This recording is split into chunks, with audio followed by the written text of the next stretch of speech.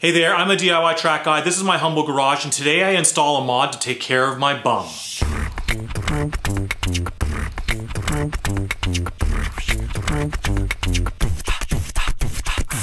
If you enjoy watching me make a mess of basic mechanics, common sense, and language skills, please like, subscribe, and drop a comment. Before we install the new seat and rail, let's see how much headroom we have with the stock seat using the standard measurement tool. Just kidding, I got something else. In my comfortable driving position without a helmet on, I'm just under the bar, and with a helmet on, I'm over it. Let's see what happens when we get the new seat in. These are Nagisa Auto sliding super low seat rails for an NA6 Roadster or MX-5 Miata. I had these overnighted from Japan. Actually, I got these from Touge Factory out of the States. I'm not sponsored by them and it took over 12 weeks to get here. Check out the cool Japanese stickers and full color instructions. And thanks to Dave and Pete over at Speed Academy for recommending using the seat rail. They used it in their Miata YouTube Track Challenge build series here. And this is a genuine Bride Zeta 3 racing seat that's been patiently waiting in my stash for just such an occasion. Its FIA certification has long expired and it does have some wear here and there, but it's still in great condition and I love it. And because the certification's expired, you can't use it for sanctioned racing, but it's still good for track days. And if you're skeptical because there's a lot of fakes out there, you can tell this is a genuine article by the little details. Now let's get the stock seat out of here by removing the four 14 millimeter bolts.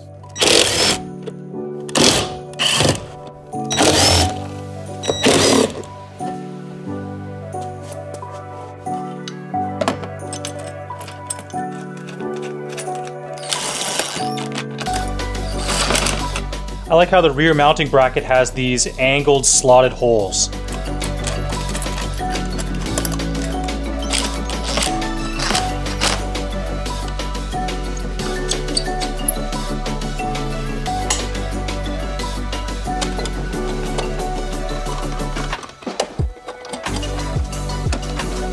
All right, I don't know if you can see this, but I'm having some trouble with the outboard slider making contact with the vehicle's chassis right about here. That's preventing the seat from sliding forward and backwards smoothly. The seat rail kit comes with a number of these washers. I'm gonna use two each on the front two corners to shim up the bracket. Hopefully that provides enough clearance for the slider to work properly.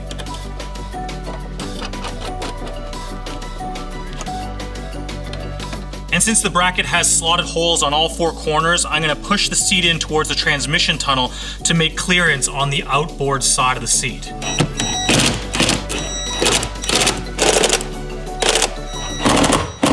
And let's not forget to torque these down properly on all four corners to 37 foot-pounds.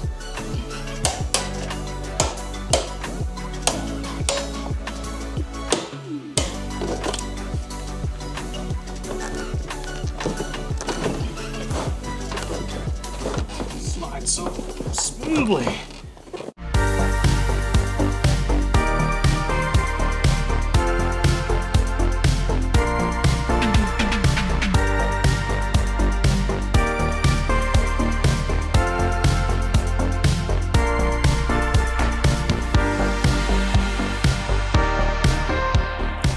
And here we are with the new seat installed. Let's check out the headroom. This is my comfortable driving position and I'm a little bit lower than I was in the stock seat. And with a helmet on, I am sitting up a bit high, touching the bar. Depending on the track day organization, this may not pass the broomstick test. So let's be honest, the only reason I did this mod was for the JDM street cred. The seat's not fitting as well as I'd hoped. I'm sitting up a little higher than I'd like, but I can't get the seat any lower because the rear bum scoop portion of the seat is contacting the inboard seat rail.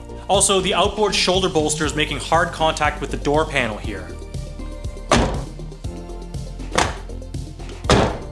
Those small issues aside, it's common wisdom that a good fixed back racing seat can improve your lap times by holding your body in a more fixed position, allowing you to focus on the finer details of driving and what the car is doing under you. That's why I love this Bride seat, it fits me really well, and this is the third car it's gone in. And finally, about the Nagisa Auto super low sliding seat rail, despite the somewhat unsmooth slider operation, I think this is one of the best yet. I've tried a few other aftermarket sliders like Sparco and Corbeau, and they mount the seat up a little higher, and the slider operation is at least as difficult as this. Also, it's important to note that the Nagisa Auto slider locking mechanism is only on the inboard rail. The outboard rail doesn't lock into place, so consider that in your buying decision. So that's all for the most useless garage, and as you can see, other than those small issues, there's literally no downsides to running a fixed back racing seat. You're awesome, I'm useless, thanks for watching.